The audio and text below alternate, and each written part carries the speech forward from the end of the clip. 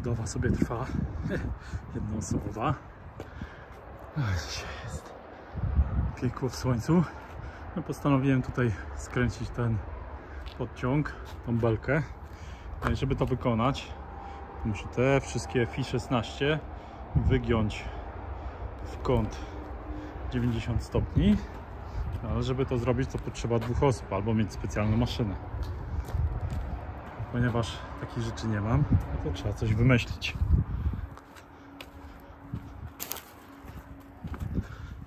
Rusztowania warszawskie H plus H. Jedno przęsło, drugie. Samochód stanął.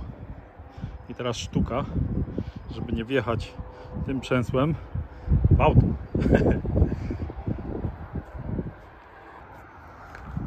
Ok. Pręty FI 16 już zostały wygięte do mniej więcej kąta 90 stopni. Tutaj to było pierwsze moje gięcie, nie podoba mi się takie półokrągłe. Tutaj mam e, znacznie ostrzejsze te kąty. E, Natomiast jeżeli chodzi o auto,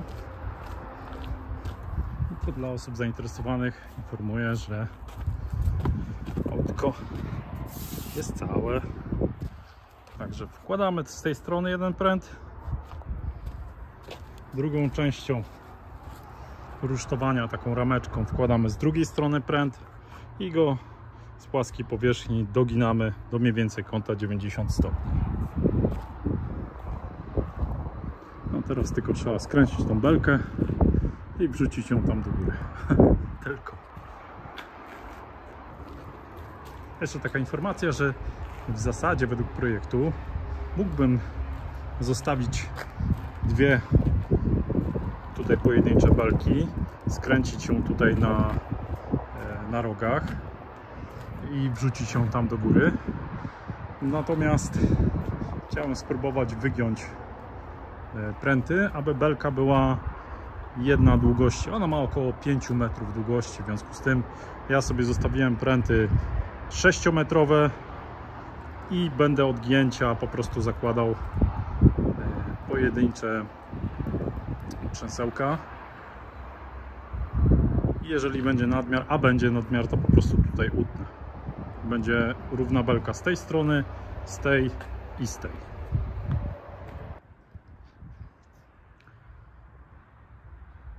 Belka podciągowa nad oknem narożnym już jest na miejscu. Tam jest 9 prętów FI 16 połączone w odpowiedniej kolejności według projektu oczywiście. I ten cały kawałek jest wykonany w całości w związku z tym gięcia są tam na rogu. No i teraz pytanie czy da się ponad 100 kg belkę wsadzić samemu? Tam do góry. Bez żadnych tutaj narzędzi są tylko rusztowania warszawskie no to już odpowiadam na pytanie, że nie, bez pomocy się nie uda. No a moją pomocą była moja kochana żona. Także gdzieś tam coś podtrzymała, gdzieś tam coś przytrzymała i jakoś dało się to wsadzić do środeczka do góry. Oczywiście jeszcze nie jest tutaj słup dobrze przykręcony, zaszalowany z uwagi na to, że dopiero co wrzuciłem belkę, belka nigdzie nie wystaje. Także wygląda to wygląda to dobrze. Okna już są podstemplowane. Góra jest już wyrównana. Także jeszcze tutaj zostawiłem sobie dwa okna z uwagi na to, żeby przechodzić tutaj z blatami do środka. Ale najważniejsze jest, że belka podciągowa już jest na swoim miejscu.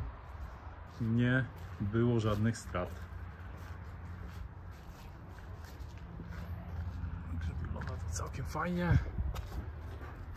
E, W przyszłości, gdybym miał jeszcze raz kręcić taką belkę i ją wkładać do góry, to myślę, że jednak, jednak bym e, rozbił to na dwie belki i łączył je po prostu tam na środku, ponieważ ze 3 godziny ładowania do góry no to jest sporo czasu zmarnowanego. E, Przy okazji jeszcze no, samą taką belkę, żeby ją obracać, e, z każdej strony podwiązać, no to całe łapy pokarcerowane mam. Garaż już został cały zaszalowany. Zostało wrzucone zbrojenie do środka. Tak to wygląda. Tutaj jest wieniec razem z zbrojeniem belki. Że jest troszeczkę większe.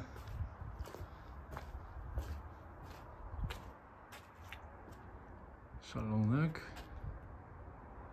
Szalunek został y, wypoziomowany od góry, nie od dołu. Pomimo że wszystkie deski mają te same wymiary, no to ponieważ e, gdzie niegdzie one się po prostu rozłażą między sobą, to dochodzi do sytuacji, że może być wymiar inny każdego blatu. Natomiast budynek główny już od zewnątrz został zaszalowany. Taka sama sytuacja. Czyli tutaj mamy na przykład te dwie witrynki, które tutaj będą. No to tutaj też zostało zaszalowane wieniec razem z nadprożem. Podobna sytuacja jest tutaj. E, Belka podciągowa razem z wieńcem. A tak jak widać jeszcze w środku nie przykręciłem blatu, bo dopiero skończyłem skręcanie. Pierwotnie były takie, czyli trzy deski. Teraz musiałem troszeczkę je poszerzyć o dwie kolejne, ponieważ w innym przypadku e, po prostu nie zakryłyby całego otworu. Oczywiście zbrojenie jeszcze trzeba wypoziomować. Do tego mam przygotowane takie specjalne plastikowe tuleje, które przechodzą, są montowane w środku e, i taką długą szpilką są montowane. Tutaj mam jeden taki przykład. Taką szpileczką. I później jak zostaną zamontowane, to po prostu podwieszę e, na drucie zbrojeniowym e, całą belkę, tak żeby ona była idealnie równa do blatów. Także tu już słupy zostały przedłużone do góry. Tam jeszcze troszeczkę wystaje z uwagi na to, że ta belka no, ona tak idzie pod ukosem w dół, w związku z tym trzeba ją będzie podnieść. I tu już czekają elki. 8 elek. W związku z tym będzie e, zaelkowana góra, można tak powiedzieć. Jednego słupa i drugiego słupa. Także jeszcze troszeczkę pracy. A dzisiaj akurat jest taka pogoda w kratkę. Raz słoneczko, raz deszcz. Natomiast w ciągu pewnie kilku dni powinienem skończyć szalowanie. A w przypadku akurat szalowania to tutaj bez pomocy byłoby bardzo ciężko, bo ten blat waży około plus minus 20 do 25 kg. A tym bardziej, że teraz troszeczkę popadał deszcz, jak widać, gdzie, gdzie są kałuże, to one jeszcze są nasiąknięte wodą, więc jeszcze więcej ważą. A poza tym, jeśli ma być to równe, bo wieniec u góry musi być równy, wiadomo, że dla osób, które będą montowały dach, wiązary, akurat w moim przypadku, bo będzie znacznie łatwiej e, montować wiązary na mm, prostym wieńcu niż na jakimś pofalowanym, e, gdzie trzeba będzie wiadomo podkładać podkładki. E, To zajmuje czas, nerwy, więc najlepiej zrobić to starannie od samego początku, a później taka staranność właśnie będzie w przyszłości procentować. Zbrojenie, które ja tutaj miałem, praktycznie zostało całe wykorzystane. Nawet musiałem tutaj gdzieś znaleźć jeszcze jakieś zbrojenia, bo dosłownie odrobinę zabrakło. Witam w niedzielne popołudnie. Pogoda już jest typowo jesienna. Jak widać, budynek już został zaszalowany. Zbrojenie już zostało wrzucone. Tutaj mam takie tuleje dystansowe 24 cm, które e, ładnie nam stabilizują górną część dolna. Jest przykręcona e, tutaj do muru, więc Tu już jest wystabilizowane. Deski oczywiście nie są super równe, więc troszeczkę zapianowałem w miejscach, gdzie są większe szpary. Mam nadzieję, że to e, wytrzyma. Tutaj jeszcze patrząc od góry mamy zbrojenie wieńca i tam pod spodem, o tutaj się zaczynają te grube pręty, to jest zbrojenie podciągu. To jest okno narożne akurat. No i według projektu podciąg ma być. Tego ja się z tym nie będę sprzeczał. Tam już widać też garaż. Też już został zaszalowany i także zostało wrzucone zbrojenie do środka. Także tak to wygląda. Zbrojenie jest bardzo, bardzo sztywne. Słupy też już tutaj brakuje mi jeszcze taki długi szpilek. One mają 34 cm, tam widać jedną tutaj. E, One przychodzą na wylot, można powiedzieć, tego słupa i wgryzają się, wkręcają się tutaj w drugą część tego blatu po drugiej stronie. Tutaj mam przykręcone po kolei wszystkie szpileczki, a to są te tulejki, które można kupić za naprawdę grosze. Ja trochę przesadziłem z ilością. Yy, Może przy okazji, jeżeli ktoś będzie zainteresowany, to po prostu wyślę mu, bo naprawdę ja już z tym chyba nic nie zrobię. To jest mój pierwszy i ostatni dom, jaki buduję, muruję. Jest to dom dla siebie. Także tak to mniej więcej wygląda. Yy, Co ciekawe, pamiętacie te blaty, które tutaj stałe, które sobie tutaj robiłem. Tutaj jeszcze była taka sterta desek. Generalnie wykorzystałem co do ostatniej deski, dosłownie. Gdyby mi zabrakła jedna deska, bym musiał brać z takiej kubki tutaj z tych desek szalunkowych, które miałem do fundamentu. Natomiast, no tak jak widać, nie wiem, czy może uda mi się wejść do góry. Opa! Tutaj tak samo mamy już zbrojenie zamontowane. No deski nie są super turbo idealnie równe, bo one już z biegiem czasu troszeczkę się poddały warunkom atmosferycznym i troszeczkę się zwichrowały. Tu mamy od razu wieniec i pod spodem zbrojenie nadproża. W związku z tym tu będzie akurat wjazd do garażu i to nadproże jest no, dość wysokie. One tutaj ma więcej niż moje przedramię, także ponad pół metra. No tutaj są peszle, które sobie dodatkowo e, zamontowałem. Także tam e, kanalizacja według oryginalnego projektu tutaj nie ma. E, Natomiast no wiadomo, że jakieś odprowadzenie wody, ta kanalizacja spowoduje, że już będzie przygotowane pod, pod montaż. Na razie jak widać są zacieki, a to z uwagi na to, że po prostu nie ma dachu, wszystko pada tutaj na wylewkę. Wylewka betonowa jest w miarę równo, dlatego tak jak widać wszędzie są podciągi, pada na papę. Te bloczki po prostu z tej papy chłoną. Jak przyjdzie dach, to po prostu ten problem zniknie. Jeszcze taki widok troszeczkę od zewnątrz budynku. Wszystko mam nadzieję, że porządnie. O tu właśnie wystaje ta jedna długa szpila. Tutaj tak jak widać po kolei te szpile góra dół, góra dół. Także mam nadzieję, że ten szalonek mi wytrzyma wylewanie. Nie wiem, nie znam się ten od fundamentów w jednym miejscu niestety puścił, mimo tego, że byłem pewny, że nie puści. Także mniej więcej to tak się przedstawia. Tutaj jest właśnie słup, okno narożne.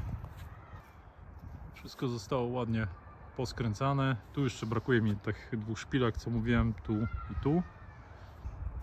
Tu są dwie witrynki. E, Aha, beton. Obliczyłem beton, nie było łatwo, bo wiadomo, że trzeba było nadproże doliczyć, e, podciągi i tak dalej, i tak dalej. 7,3 metra sześciennego, 1,3 na garaż, 6 na budynek mieszkalny, czyli 7,3. Zamówię w okolicach tych 8 metrów sześciennych, w razie czego bo lepiej, żeby troszeczkę więcej zostało, to przynajmniej tutaj podleję na taras, od razu beton. Dzień dobry rano. Godzina siódma. Pompokruszka już jest rozstawiona. My jesteśmy gotowi. De facto buła już czeka. Deska do zacierania też. Ale niestety pompokruszka ma awarię. Takie rzeczy się zdarzają. My w każdym razie jesteśmy przygotowani maksymalnie. Agregat e, jest przygotowany. E, No. O, jest cień szansy, że odpali. Także jeszcze tutaj delikatne poprawki. E, Przeszlifowałem jeszcze tą część e, do równego. E, Także dorzuciłem dystanse oddalające troszeczkę pręty od szalunków. Tak samo na dole. Tam widać jeden dystans taki plastikowy. Potem tam dalej widać. A po to tylko, żeby było troszeczkę uniesione to zbrojenie od deseczek. Dzisiaj zalewamy dwa wieńce, czyli ten budynek z projektu Łukasza Budowlańca dom za 150 tysięcy i tamten domek gospodarczy alias garaż. Dziś mam pomoc. Pan operator tam się męczy. Dziś mam pomoc. Eee, Przyjaciele jak się dowiedzieli, że zalewa wieńce, to koniecznie chcieli przyjechać. nie, no tak na dobrą, tak na dobrą sprawę o 7 rano nikomu się nie chce przyjeżdżać, zalewać wieniec, ale to był jedyny termin dostępny, e, a tuż po zalewaniu mam wakacje, dlatego wolałem to zalać o 7 rano niż, e, niż dopiero w przyszłym roku. Dobra, oba wieńce wylane. Tutaj mamy garaż. Garaż wyszedł super, zgodnie ze sztuką. Natomiast jeżeli chodzi o nadroże głównego, była katastrofa. Po pierwsze, pompa się, e, coś się w gruszce zepsuło, że pompa przestała pracować. A po drugie, rozpuchło troszeczkę e, szalunki. E, To jest wynikiem tego, że po prostu były zbyt długo wibrowane. E, No i w miejscu najsłabszym po prostu puściły. Generalnie, jeżeli chodzi o beton, tutaj, tak jak mówiłem wcześniej, miałem e, zamówione 8 metrów sześciennych, e, a poszło 7,5 metra sześciennego mniej więcej. W związku z tym, no, troszeczkę tam tego betonu poszło tam za budynek na zewnątrz, a tam i tak jeszcze przyjdzie do wyrównania ziemia. Natomiast jeśli chodzi tutaj o, o garaż, e, no to praktycznie szalunki spokojnie tutaj wytrzymały, chociaż miałam pewne obawy, czy te szpilki, e, które są tutaj, e, to są takie szpilki, które się wkręcają w drewno o długości 34 cm, czy w momencie, kiedy ta deska nie zrobi się mokra, czy one po prostu tutaj na gwincie nie puszczą. Natomiast tak jak widać, że trzymają Oczywiście tutaj od spodu jeszcze było do tej deski poziomej przekręcone pionowe deseczki.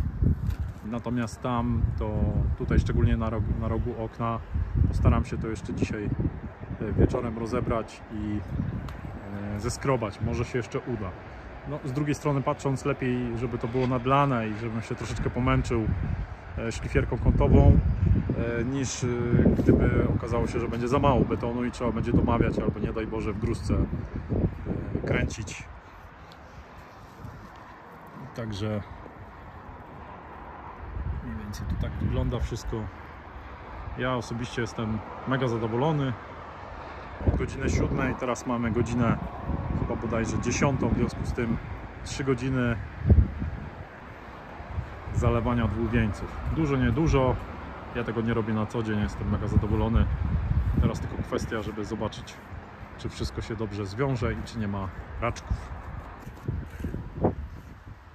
Tak to niestety wygląda tutaj nad oknem narożnym. Rozwaliło tą deskę, która była najniżej. Tyle ile można było, ale żeśmy dokręcili tymi długimi wkrętami. Natomiast niestety troszeczkę betonu wypchało.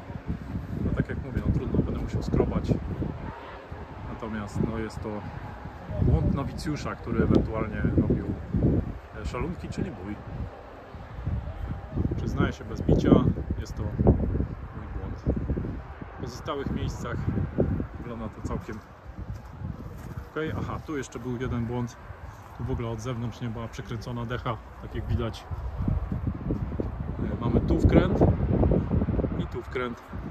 Natomiast po środku do tego blaciku środkowego nie były przykręcone wkręty i tam e, widać te dwa łebki, to żeśmy od zewnątrz przykręcali, żeby tylko to ściągnąć.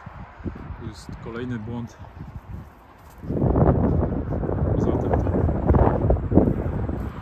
tutaj ok. Przykręcone wszystko od zewnątrz. No i drugi po oknie na... No i tu jest jeszcze okno balkonowe, które w zasadzie delikatnie zostało wypchnięte. Kolejny błąd mój. Po prostu za mało desek poprzecznych dodawałem, żeby to wtedy nie mocno wzmacniać.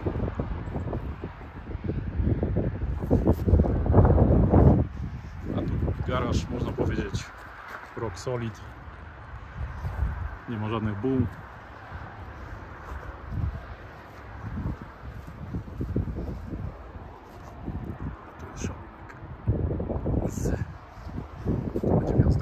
prostu.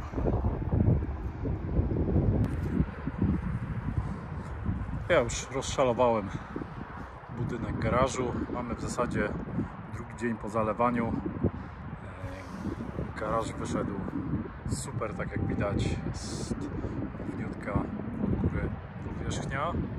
E, Natomiast jeżeli chodzi o budynek główny, tutaj gdzie niegdzie, jak widzicie, jest troszeczkę wygięło te deski. E, Jest to mój błąd, bo tam koło samochodu leżą te tuleje dystansujące i mogłem po prostu dać tego więcej, ale byłem pewny, że te szalunki wytrzymają, no bo podobne robiłem przecież przy fundamencie i tam nie było takiej sytuacji. Natomiast niestety przez dwa dni padał deszcz i przypuszczam, że to jest skutek.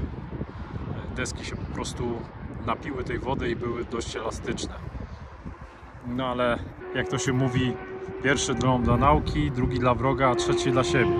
No w tym wypadku jest to mój pierwszy budowany dom, ja nie jestem zawodu budowlańca. E, Tutaj e, nie dolało. Ja przypuszczam, że jest to związane z faktem, że zaczynaliśmy tutaj od słupów lać i po wylaniu słupów zaczęliśmy tutaj lać nadproże e, na tym narożu. E, No i nam wysadziło e, szalunki i osoba, która wibrowała już się troszeczkę bała tutaj dłużej działać tym e, urządzeniem do wibrowania betonu. E, Generalnie w pozostałych miejscach wyszło to, o tutaj widać szczególnie taką gulaję z jednej i z drugiej strony. Nie jest to wielki problem, no bo generalnie tu chodzi o to, żeby ta powierzchnia była płaska i e, pozioma głównie. Natomiast przy ocieplaniu elewacji od zewnątrz będę musiał to po prostu uwzględnić. E, Tam widać nadproże razem z wieńcem. E, Nie ma żadnych ubytków. No, garaż w ogóle petarda. Może dlatego, że po prostu tam nie było specjalnie okien. W związku z tym szalonki wszędzie były identyczne, a tutaj były okno, okno, okno, okno, no drzwi, ale tutaj jest nadproże systemowe, znowu okno, tutaj okno, tu gdzie siedzę jest okno, kolejne okno, no i tam wyjście balkonowe. Co powodowało automatycznie, że te szalonki są troszeczkę większe. Tak, wybrałem tutaj nadproże od razu wylewane e, z uwagi na to, że e, budowa samemu są też minusy wszystkiego, ponieważ belka tam nad balkonem miałaby e, prawie 4 metry, a co za tym idzie, gdyby to była struno-betonowa belka, ważyłaby no przynajmniej 100 kg, jak nie więcej. A przypominam, że potrzebne są takie dwie belki tam do góry, więc dlatego zazbroiłem tutaj zbrojenie i, i wylałem od razu razem z wieńcem całą powierzchnię. E, Jedni powiedzą, ojejku, jejku, jaki mostek termiczny, ojejku. E, ja się tym nie przejmuję, bo generalnie od zewnątrz przyjdzie stropian, 15 lub 20. E, Są chałupy, które są wylewane całe z betonu. E, No i co? I to jest wielki mostek termiczny? Natomiast tutaj mamy właśnie nadproże razem z belką. Będzie wjazd do garażu, aczkolwiek jeszcze nie wiem, czy przypadkiem tutaj tej części nie zamuruję, bo jak każdy garaż budowany, samochód tutaj nigdy nie wjeżdża.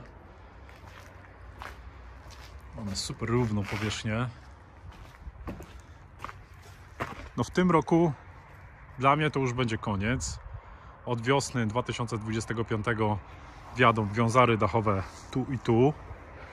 W związku z tym przyszły rok dla mnie głównie to będą deskowanie dachu, pokrycie go dachóweczką, e, ściany wewnątrz budynku, komin i to są główne cele, które mam do wykonania. Jeżeli coś będzie ponadto, na przykład okna, drzwi, to oczywiście będzie na plus. Natomiast w tym roku dla mnie liczyło się, żeby wylać wieniec, żeby zabezpieczyć. A propos tego słupka, miałem obawy, o właśnie, słońce świeciło.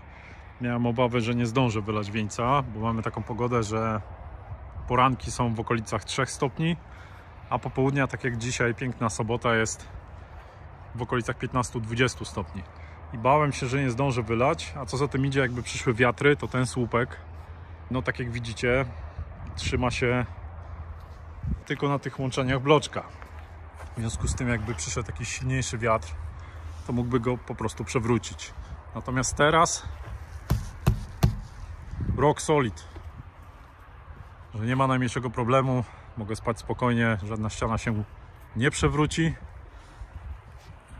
Jeszcze dzisiaj popracuję tutaj nad betonem, wziąłem e, tarczę do szlifowania betonu, zobaczymy jak to pójdzie, bo jak wiadomo to jest beton towarowy, jest to kilka centymetrów uchybu. No niestety w tym miejscu rozwaliło szalunki i troszeczkę, troszeczkę wyciekł ten beton. Natomiast nad tą jedną witrynką tutaj tam niedolane jest, ale to już wypełnię, aby przypadkiem zbrojenie nie korodowało, aby to zabezpieczyć przed zimą. No i tyle. Pozostało mi jeszcze do posprzątania resztę blatów. Tam już zacząłem ładną kubkę robić. Przykryję je ładnie folią, bo e, te deseczki przydadzą się oczywiście do e, de- odeskowania strychu. Deski zakupiłem okazjonalnie, dlatego szkoda ich nie wykorzystywać. W tym 2024 roku to by było na tyle. Kolejne etapy będą w 2025. Tymczasem trzymajcie się, do następnego. Cześć.